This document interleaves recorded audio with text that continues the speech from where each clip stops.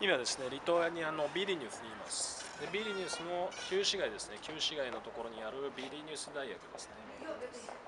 1579年にねこの大学が創設されてですねまあ歴史がある大学なんですけどね。なかなかすごいですね。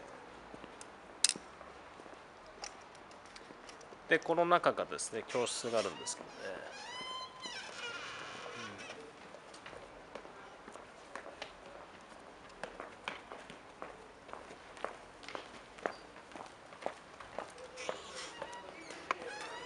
ね、この人先生っぽいね。硬そうな先生だね。で車を止めてるところは車で来てる学生も結構いるってことですかね。まあそれか職員の車が分かんないですけどね。